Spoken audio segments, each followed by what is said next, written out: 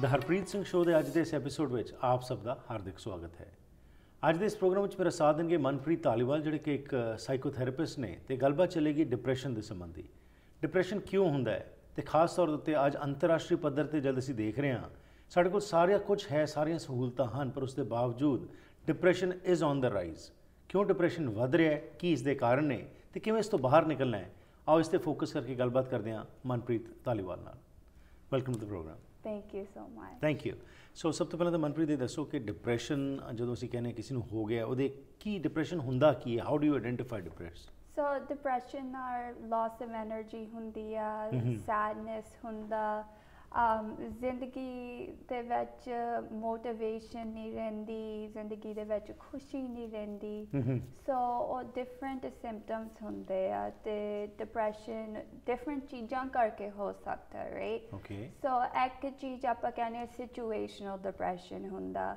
ਉਹ ਹੁੰਦਾ ਕਈ ਵਾਰੀ ਜ਼ਿੰਦਗੀ ਦੇ ਵਿੱਚ ਵੱਡਾ ਹੈਪਨ ਹੁੰਦਾ ਭਾਵੇਂ ਜੋ- ਨੌਕਰੀ ਟੁੱਟਦੀ ਆ ਰਾਈਟ ਉਹ ਉਹ ਗੱਲ ਹੈਪਨ ਜਾਂ ਹੋਰ ਕੋਈ ਜ਼ਿੰਦਗੀ ਦੇ ਵਿੱਚ ਲਾਸ ਆਉਂਦੀ ਆ। ਸੋ ਉਹ ਵੀ ਡਿਪਰੈਸ਼ਨ ਦੇ ਆ ਸਕਦਾ। ਰਾਈਟ ਤੋ ਸੈਕੰਡ ਚੀਜ਼ ਹੁੰਦੀ ਹੈ ਬਾਇਓਲੋਜੀਕਲ ਕਈ। ਵਾਰੀ ਤੇ ਪਰਿਵਾਰ ਦੇ ਵਿੱਚ ਆਲਰੇਡੀ ਡਿਪਰੈਸ਼ਨ ਆ ਗਾਂ ਯੂ نو ਬੱਚੇ ਦੇ ਵਿੱਚ ਵੀ ਹੋ ਸਕਦਾ ਸੋ। ਜੈਨੇਟਿਕ ਵੀ ਹੁੰਦਾ ਓਕੇ. ਤੇ ਕਿਵੇਂ ਪਤਾ ਕਿਵੇਂ ਲੱਗਦਾ ਕਿਸੇ ਨੂੰ ਕੋਈ ਉਹ ਡਿਪਰੈਸਡ ਹੈਗਾ? ਕੀ ਇਹਦੇ ਕੋਈ ਸਾਈਨਸ ਨੇ ਜਿਹਦੇ ਨਾਲ ਕਿ ਦੂਸਰਾ ਵਿਅਕਤੀ ਇਹ ਪਤਾ ਚੱਲ ਸਕੇ ਉਸ ਨੂੰ ਕਿ ਬਈ ਇਹ ਡਿਪਰੈਸਡ ਹੈ ਯੈਸ ਬਹੁਤ ਜ਼ਿਆਦਾ ਸਾਈਨ ਹੁੰਦੇ ਆ ਤੇ ਮੈਂ ਅੱਜ ਗੱਲ ਕਰਨਾ ਮੰਗਦੀ ਆ ਵੀ ਆਈਸੋਲੇਸ਼ਨ ਬਾਰੇ ਰਾਈਟ ਓਕੇ ਸੋ ਆਈਸੋਲੇਸ਼ਨ ਪਹਿਲੀ ਗੱਲ ਆ ਇਨਸਾਨ ਕੱਲਾ ਯੂ نو ਰਹਿਣ ਲਈ ਬਣਿਆ ਨਹੀਂ ਹੈਗਾ. ਰਾਈਟ ਸੋ ਜਦੋਂ ਮੇਰੇ ਕੋਲ ਕਲਾਇੰਟ ਪਹਿਲਾਂ ਆਉਂਦਾ ਮੈਂ ਕਲਾਇੰਟ ਨੂੰ ਸਭ ਤੋਂ ਪਹਿਲੀ ਚੀਜ਼ ਪੁੱਛਦੀ ਹੁੰਦੀ ਹਾਂ ਉਹਨਾਂ ਦੇ ਸੋਸ਼ਲ ਲਾਈਫ ਬਾਰੇ ਰਾਈਟ ਜੇ ਕਲਾਇੰਟ ਪਰਿਵਾਰ ਦੇ ਵਿੱਚ ਬੈਠ ਕੇ ਗੱਲਾਂ ਕਰਦਾ ਜਾਂ ਦੋਸਤਾਂ ਨਾਲ ਰਾਈਟ ਬਿਕਾਜ਼ ਇਹ ਬਹੁਤ ਇੰਪੋਰਟੈਂਟ ਚੀਜ਼ ਆ ਜਦੋਂ ਸੋਸ਼ਲ ਲਾਈਫ ਟੁੱਟਦੀ ਆ ਆਪਾਂ ਨੂੰ ਪਤਾ ਲੱਗਦਾ ਸੋਸ਼ਲ ਲਾਈਫ ਤੋਂ ਬਿਨਾ ਇੰਡੀਵਿਜੂਅਲ ਦੀ ਮਨ ਨੇ ਖਰਾਬ ਹੋਣਾ। ਆਪਾਂ ਨੂੰ ਸੋਸ਼ਲ ਲਾਈਫ ਇੰਪੋਰਟੈਂਟ ਆ। ਸੋ ਤੇ ਮੈਂ ਪਹਿਲਾਂ ਕਿਹਾ ਇਨਸਾਨ ਕੱਲਾ ਰਹਿਣ ਰਹਿਣ ਲਈ ਬਣਿਆ ਨਹੀਂ ਹੋਇਆ. ਜਦੋਂ ਕੱਲਾ ਰਹਿਣ ਲੱਗ ਜਾਂਦਾ ਜੀ। ਉਦੋਂ ਥੋੜਾ ਮਨ ਦਾ ਸਿਕਨੈਸ ਆਉਣ ਲੱਗ ਜਾਂਦੀ ਆ। ਠੀਕ। ਸੋ ਪਹਿਲੀ ਗੱਲ ਹੁੰਦੀ ਆ ਉਹ ਫਿਕਸ ਕਰਨ ਲਈ ਰਾਈਟ. ਸੋ ਕਈ ਵਾਰੀ ਕੰਪਲੇਂਟ ਹੁੰਦੀ ਆ ਵੀ ਬੱਚਾ ਰੂਮ ਦੇ ਵਿੱਚ ਇਕੱਲਾ ਬੈਠਣ ਰਹਿਣ ਲੱਗ ਗਿਆ। ਰਾਈਟ ਸੋ ਮੈਂ ਕਹਿੰਦੀ ਹੁੰਦੀ ਆ ਉਹਦੇ ਲਈ ਬਹੁਤ ਇੰਪੋਰਟੈਂਟ ਆ ਬਹੁਤ ਜ਼ਰੂਰੀ ਆ ਪਰਿਵਾਰ ਦੇ ਵਿੱਚ ਬੈਠ ਕੇ ਗੱਲਾਂ ਬਾਤਾਂ ਕਰਨ ਰਾਈਟ ਜੀ ਕਿ ਪਰ ਕਈ ਵਾਰੀ ਮੈਨੂੰ ਪਰਸਨ ਕਹਿੰਦਾ ਵੀ ਉਹ ਤਾਂ ਰੂਮ ਦੇ ਵਿੱਚੋਂ ਨਿਕਲਦਾ ਨਹੀਂ ਰਹੀ ਫਿਰ ਕੀ. ਕਰੀਏ ਸੋ ਮੈਂ. ਕਹਿੰਦੀ ਹੁੰਦੀ ਹਾਂ ਉਸ ਸਿਚੁਏਸ਼ਨ ਦੇ ਵਿੱਚ ਸਾਰਾ ਪਰਿਵਾਰ ਹੀ ਉਹਦੇ ਰੂਮ ਦੇ ਵਿੱਚ ਜਾਓ। ਕੇ ਉਹਦਾ ਫੇਵਰਿਟ ਖਾਣਾ ਜਵਾਕ ਬੱਚੇ ਬਹੁਤ ਬੋਸਟਨ ਪੀਜ਼ਾ ਲਾਈਕ ਕਰਦੇ ਰਾਈਟ ਸੋ. ਉਹਦੇ ਰੂਮ ਦੇ ਵਿੱਚ ਲਾ ਕੇ. ਉਹਦੇ ਨਾਲ ਗੱਲਾਂ ਬਾਤਾਂ ਚ ਪਾਓ ਰਾਈਟ. ਆਮ ਤੌਰ ਉੱਤੇ ਇਹੀ ਸੋਚ ਹੁੰਦੀ ਸੀ ਕਿ ਡਿਪਰੈਸ਼ਨ ਤਾਂ ਵੱਡਿਆਂ ਨੂੰ ਹੁੰਦਾ ਹੈਗਾ. ਪਰ ਹੁਣ ਜੋ ਦੇਖਣ ਨੂੰ ਮਿਲ ਰਿਹਾ ਕਿ ਈਵਨ ਛੋਟੇ ਬੱਚਿਆਂ ਦੇ ਵਿੱਚ ਵੀ ਇਹ ਚੀਜ਼ ਵੱਧਦੀ ਜਾ ਰਹੀ ਹੈ ਅਗੇਨ ਬੱਚਿਆਂ ਦਾ ਤੇ ਜਦੋਂ ਵੱਡਿਆਂ ਨਾਲ ਕੰਪੇਅਰ ਕਰੀਦਾ ਸੋਸ਼ਲ ਲਾਈਫ ਜਿਸ ਤਰ੍ਹਾਂ ਤੁਸੀਂ ਕਿਹਾ ਕਿ you have to be social but ਬੱਚੇ ਜਿਹੜੇ ਹੈਗੇ ਨੇ ਆਮ ਤੌਰ ਦੇ ਉੱਤੇ ਸਕੂਲ ਜਾਂਦੇ ਨੇ ਉਹਨਾਂ ਦੇ ਦੋਸਤ ਮਿੱਤਰ ਹੁੰਦੇ ਨੇ ਗੱਲਬਾਤ ਕਰਦੇ ਨੇ ਬੱਚਿਆਂ 'ਚ ਕਿਵੇਂ ਇਹ ਬਰਡਨ ਆ ਜਾਂਦਾ ਹੈ ਤੇ ਕਿਵੇਂ ਉਹ ਵੀ ਡਿਪਰੈਸ਼ਨ ਵਿੱਚ ਚਲੇ ਜਾਂਦੇ ਹੈਗੇ ਨੇ? ਬੱਚਿਆਂ ਦੇ ਲਾਈਫ ਦੇ ਵਿੱਚ ਵੀ ਬਹੁਤ ਪ੍ਰੈਸ਼ਰ ਹੁੰਦੇ ਹਮ। ਰਾਈਟ ਸੋ ਬੱਚਿਆਂ ਦੇ ਲਾਈਫ ਦੇ ਵਿੱਚ ਵੀ ਲਾਸਸ ਆ ਸਕਦੀਆਂ right. So loss universal right ਸਿਰਫ ਐਡਲਟ ਨੂੰ ਨਹੀਂ ਲਾਸ ਹੁੰਦੀ ਯੰਗ ਬੱਚਿਆਂ ਨੂੰ ਵੀ ਲਾਸਸ. ਹੋ ਜੀਆਂ ਹੁੰਦੀਆਂ ਸੈਕਿੰਡ ਚੀਜ਼ ਹੈ ਬੱਚਿਆਂ ਕੋਲ ਜ਼ਿਆਦਾ ਪ੍ਰੈਸ਼ਰ ਵੀ ਹੁੰਦਾ ਰਾਈਟ। ਸੋ ਇਹ ਦੁਨੀਆ ਬਹੁਤ ਛੇਤੀ ਚੱਲਦੀ ਹੈ ਰਾਈਟ ਸੋ ਪੜ੍ਹਾਈ ਦੇ ਵਿੱਚ ਜ਼ਿਆਦਾ ਕੱਲਾ ਬੈਠ ਕੇ ਰਹਿਣਾ ਪੈਂਦਾ ਰਾਈਟ ਸੋ ਹਮ। ਉਹ ਵੀ ਸਿਕਨੈਸ ਲਿਆਉਂਦੀ ਆ. ਸੋ ਉਹ ਵੀ ਚੀਜ਼ਾਂ ਯਾ ਸੋ ਸੋ ਮਨਪ੍ਰੀਤ ਹੁਣ ਜਿਸ ਤਰ੍ਹਾਂ ਜ਼ਿੰਦਗੀ ਤੇਜ਼ ਰਫ਼ਤਾਰ ਨਾਲ ਚੱਲ ਰਹੀ ਹੈ you have to keep pace with that life ਤੁਸੀਂ ਜੇ ਨਹੀਂ ਉਸ ਰਫ਼ਤਾਰ ਨਾਲ ਚੱਲਦੇ ਤੇ ਪਿੱਛੇ ਚਲੇ ਜਾਂਦੇ ਹੋ. ਪਰ ਜੇ ਨਾਲ ਚੱਲਦੇ ਹੋ ਕਈ ਵਾਰੀ ਤੁਹਾਨੂੰ ਹੋਰ ਪ੍ਰੈਸ਼ਰਸ ਵੀ ਤੁਹਾਡੇ ਤੇ ਪੈ ਜਾਂਦੇ ਹੈਗੇ ਨੇ। ਸੋ ਇਹ ਬੈਲੈਂਸ ਕਿਵੇਂ ਲਿਆਂਦਾ ਜਾਵੇ? ਜੇਕਰ ਕੋਈ ਵਿਅਕਤੀ ਡਿਪਰੈਸ਼ਨ ਵਿੱਚ ਚਲੇ ਗਿਆ ਤਾਂ ਹੁਣ ਕਿਵੇਂ ਉਹ ਆਪਣੇ ਆਪ ਨੂੰ ਜਾਂ ਕਿਵੇਂ ਕਾਉਂਸਲਿੰਗ ਦੀ ਮਦਦ ਲੈ ਕੇ ਜਾਂ ਕੀ ਹੋਰ ਕਰੇ ਜਿਹਦੇ ਨਾਲ ਕਿ ਉਹ ਸਟੈਪਸ ਲੈ ਕੇ ਬਾਹਰ ਨਿਕਲ ਸਕਦਾ ਹੈ? ਸੋ ਤੁਸੀਂ ਗ੍ਰੇਟ ਪੁਆਇੰਟ ਟੱਚ ਔਨ ਕੀਤਾ ਵੀ ਯੂ نو ਹੁਣ ਦੁਨੀਆ ਬਹੁਤ ਤੇਜ਼ ਚੱਲੀ ਜਾਂਦੀ ਹੈ ਰਾਈਟ ਆਪਣੀ ਕਮਿਊਨਿਟੀਜ਼ ਵੀ ਥੋੜੀਆਂ ਡਿਫਰੈਂਟ ਚੇਂਜ ਹੋ ਗਈਆਂ ਰਾਈਟ ਸਾਰੇ ਜ਼ਿਆਦਾ ਇੰਡੀਵਿਜੂਅਲਿਸਟਿਕ ਰਹਿੰਦੇ ਆ ਇੰਡੀਵਿਜੂਅਲਿਸਟਿਕ ਲਾਈਫ ਕਮਿਊਨਿਟੀਜ਼ ਥੋੜੀਆਂ ਟੁੱਟਣ ਲੱਗ ਗਈਆਂ ਰਾਈਟ ਸੋ ਮੇਰਾ ਅੰਡਰਸਟੈਂਡਿੰਗ ਆਪਾਂ ਥੋੜਾ ਡਿਫਰੈਂਟ ਤੇ ਮੈਂ ਪਹਿਲਾਂ ਰਹਿੰਦੇ ਸੀ ਕਮਿਊਨਿਟੀ ਕਲੋਜ਼ ਨੈਟਵਰਕ ਤੇ ਉੱਥੇ ਬੈਕ ਚੱਲੀਏ ਠੀਕ ਹੈ Um, I think a good comparison ਹੈਗਾ India the mental health research ਦੇ ਵਿੱਚ ਦੇਖਣ ਨੂੰ ਸੋ there mental health research ਆ ਉਹ ਚ ਲੱਭਿਆ ਹੋਇਆ ਵੀ ਜਿਨ੍ਹਾਂ ਕੋਲ mental health problem ਆ ਭਾਵੇਂ depression ਆ ਉਹ ਇੰਡੀਆ ਦੇ ਵਿੱਚ ਜ਼ਿਆਦਾ ਗੁੱਡ ਰਹਿੰਦੇ ਆ। ਸੋ ਕੁਐਸਚਨ ਆ ਵੀ ਕਿਉਂ? ਇਹ ਕੁਐਸਚਨ ਦਾ ਰਿਸਪਾਂਸ ਆ ਬਿਕਾਜ਼ ਉੱਥੇ ਜ਼ਿਆਦਾ ਸੋਸ਼ਲ ਸਪੋਰਟ ਹੁੰਦੀ ਆ. ਰਾਈਟ ਸੋ ਸਾਰੇ ਰਲ ਮਿਲ ਕੇ ਗੱਲਾਂ ਬਾਤਾਂ ਉਹ ਚੀਜ਼ਾਂ ਜ਼ਿਆਦਾ ਚੱਲਦੀਆਂ। ਸੋ ਆਈ ਥਿੰਕ ਉਹ ਚੀਜ਼ਾਂ ਬੈਕ ਲਿਆਉਣੀਆਂ ਚਾਹੀਦੀਆਂ ਪਰਿਵਾਰ ਦੇ ਵਿੱਚ ਗੱਲਾਂ ਬਾਤਾਂ ਕਰਨੀਆਂ। ਔਰ ਦੋਸਤਾਂ ਨਾਲ ਗੱਲਾਂ ਬਾਤਾਂ ਕਰਨੀਆਂ so those are very important so ਇਹ ਇੱਕ ਮੇਜਰ ਪੁਆਇੰਟ ਹੈ ਕਿ ਜਦੋਂ ਬੰਦਾ ਡਿਪਰੈਸ਼ਨ ਵਿੱਚ ਹੈਗਾ ਤਾਂ ਉਸ ਸਮੇਂ ਉਸ ਨੂੰ ਅਲੂਫ ਨਾ ਛੱਡੋ। ਬਲਕਿ ਕੋਈ ਨਾ ਕੋਈ ਮੌਕਾ ਬਣਾ ਕੇ ਉਹਦੇ ਨਾਲ ਬੈਠਣ ਦਾ ਯਤਨ ਕਰੋ ਉਹਦੇ ਨਾਲ ਗੱਲਬਾਤ ਰਾਹੀਂ ਜਾਂ ਕਿਸੇ ਹੋਰ ਤਰੀਕੇ ਨਾਲ ਉਹਨੂੰ ਇਨਵੋਲਵ ਕਰੋ. ਜਦੋਂ ਕੋਈ ਇਨਵੋਲਵ ਹੋਏਗਾ ਤਾਂ ਆਟੋਮੈਟਿਕਲੀ ਉਸ ਸੋਚ ਚੋਂ ਬਾਹਰ ਨਿਕਲਣ ਵਿੱਚ ਕਾਮਯਾਬ ਹੋਏਗਾ। ਪਰ ਜਿੰਨਾ ਉਹ ਇਕੱਲਾ ਰਹੇਗਾ ਉਨਾ ਹੀ ਹੋਰ ਉਹ ਜ਼ਿਆਦਾ ਉਸ ਦੇ ਵਿੱਚ ਫਸਦਾ ਜਾਏਗਾ। ਯਾ ਜਿਵੇਂ ਮੈਂ ਕਿਹਾ ਇਨਸਾਨ ਇਕੱਲਾ ਰਹਿਣ ਲਈ ਬਣਿਆ ਨਹੀਂ ਹੋਇਆ। ਰਾਈਟ ਸੋ ਹੋਰ ਕੀ ਕੁਝ ਕਰਨ ਦੀ ਲੋੜ ਹੈ? ਇਸ ਬਾਰੇ ਗੱਲ ਕਰਨੇ ਇਸ ਛੋਟੀ ਜੀ ਬ੍ਰੇਕ ਤੋਂ ਬਾਅਦ।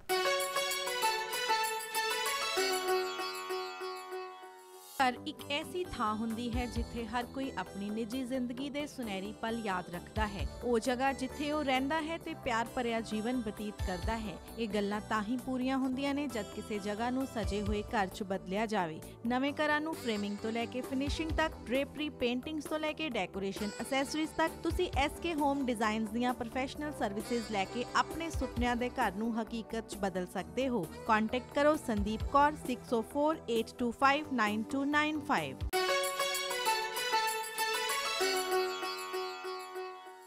ਮਨਪ੍ਰੀਤ ਧਾਲੀਵਾਲ ਜਿਹੜੇ ਕਿ ਸਾਈਕੋਥੈਰੇਪਿਸਟ ਨੇ ਸਾਡੇ ਨਾਲ ਅੱਜ ਗੱਲਬਾਤ ਕਰ ਰਹੇ ਨੇ ਡਿਪਰੈਸ਼ਨ ਦੇ ਸੰਬੰਧ ਵਿੱਚ ਆਓ ਹੋਰ ਜਾਣਕਾਰੀ ਲੈਂਦੇ ਹਾਂ।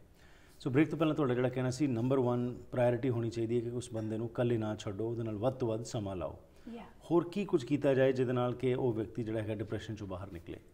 ਸੋ ਸੈਕੰਡ ਚੀਜ਼ ਆ ਵੈਰੀ ਇਫੈਕਟਿਵ ਹੈਗੀ ਆ ਐਕਸਰਸਾਈਜ਼ ਭੱਜਣਾ ਦੌੜਨਾ ਉਹ ਬਹੁਤ ਇੰਪੋਰਟੈਂਟ ਚੀਜ਼ ਆ ਬਿਕਾਜ਼ ਜਦੋਂ ਐਕਸਰਸਾਈਜ਼ ਕਰਦੇ ਤੇ ਉਹ ਭੱਜਦੇ ਆ ਤੇ ਉਹ ਦੌੜਦੇ ਆ ਜਿਹੜਾ ਆਪਣਾ ਬ੍ਰੇਨ ਆ ਉਹ ਚੰਗਾ ਕੈਮੀਕਲ ਕੱਢਦਾ Okay. ਕੈਮੀਕਲ ਤੋਂ ਆਪਾਂ ਨੂੰ ਖੁਸ਼ੀ ਆਉਂਦੀ ਆ ਸੋ ਇਹ ਨੈਚੁਰਲ ਚੀਜ਼ ਆ ਆਪਾਂ ਕੋ ਸਾਡੀ ਬਾਡੀ ਦੇ ਵਿੱਚ ਪਾਉਨੇ ਨਹੀਂ ਪਰ ਆਪ ਹੀ ਉਹ ਕੈਮੀਕਲ ਨਿਕਲਦਾ ਜਦੋਂ ਆਪਾਂ ਭੱਜਦੇ ਆ ਦੌੜਦੇ ਆ ਆਪਾਂ ਫਿਰ ਜ਼ਿਆਦਾ ਖੁਸ਼ ਰਹਿੰਦੇ ਆ। ਸੋ ਉਹ ਐਂਜ਼ਾਇਟੀ ਤੇ ਡਿਪਰੈਸ਼ਨ ਨੂੰ ਥੱਲੇ ਕਰਦਾ। ਓਕੇ ਅੱਛਾ ਇੱਕ ਹੋਰ ਚੀਜ਼ ਜਿਹੜੀ ਆਮ ਤੌਰ ਤੇ ਆਪਣੀ ਕਮਿਊਨਿਟੀ 'ਚ ਦੇਖੀ ਜਾਂਦੀ ਹੈ ਕਿ ਜਦੋਂ ਕੋਈ ਵਿਅਕਤੀ ਮੈਂਟਲੀ ਟੈਂਸ ਹੋਏ ਜਾਂ ਡਿਪਰੈਸ਼ਨ 'ਚ ਹੋਏ ਅਸੀਂ ਉਹ ਵਿਚਾਰੇ ਦਾ ਭਾਵ ਲੈ ਆਉਂਦੇ ਆ ਕਿ ਵਿਚਾਰਾ ਇਸ ਦੇ 'ਚ ਫਸ ਗਿਆ ਵਿਚਾਰੇ ਨਾਲ ਇਹ ਹੋ ਗਿਆ।